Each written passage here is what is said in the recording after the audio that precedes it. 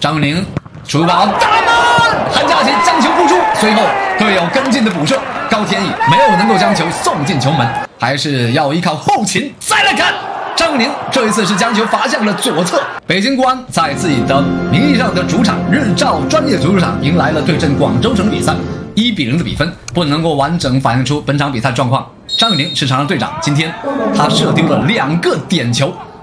来看一下上半场比赛开始。其实要犯规，听得非常清楚啊！草皮条件比较一般呢，场地其实还可以。看一下弧顶位置，右脚打门，张稀哲。比赛才刚刚进行了几分钟时间而已，九分钟不到十分钟时间，张稀哲完成了本场比赛唯一的一个进球。当然，这个进球不是今天比赛的全部内容。我们再来看，给贾霍根给回来之后，队友重新将球权交给了张稀哲，这是来自于。韩国外援的助攻，江祥佑。再来看啊，这球打的力量真的是非常足，韩佳琪只能是望球兴叹。这座球场从造型上来看还不错，可是草皮的条件真的是不敢恭维。王刚传到禁区内就倒地，裁判第一时间判了一个点球，张玉宁在禁区内被踢倒。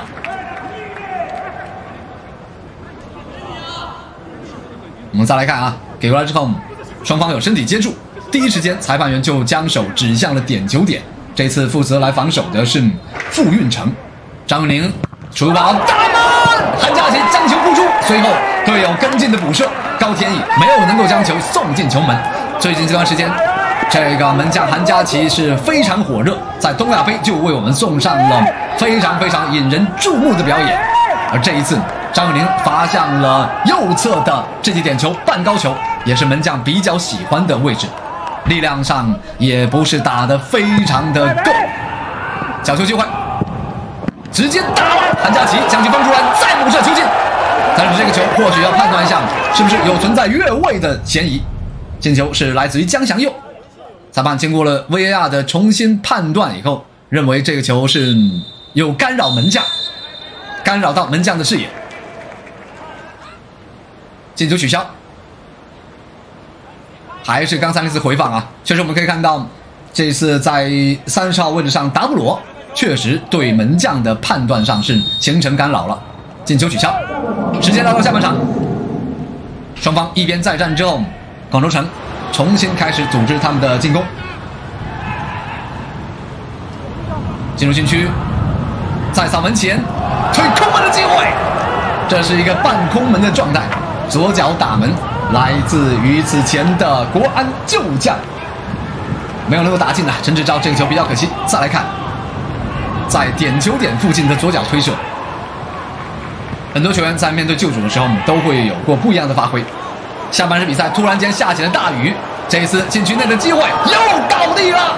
我们再来看裁判会怎么来判，是江祥佑倒在了禁区内。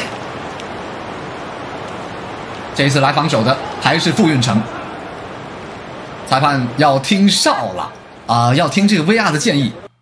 我们来看看啊，禁区内确实有一个接触，经过 VR 复核之后，裁判第二次判罚了点球。来看一下这个点球，还是会交给张永宁来处理。在赛后，韩佳琪在接受采访的时候就说，这一次他能够扑出点球，还是要依靠后勤。再来看张永宁，这一次是将球罚向了左侧，韩佳琪。再一次将这个球拒绝。赛后，韩佳琪在接受采访的时候就说：“这一次能够扑出连续扑出张玉宁的两两个点球，就要感谢后勤的这些讯息到位啊。”张玉宁今天运气也不是不是太好。裁判结束了本场比赛，最终比分是锁定在一比零，依靠张稀哲的进球，北京国安拿下了两连胜。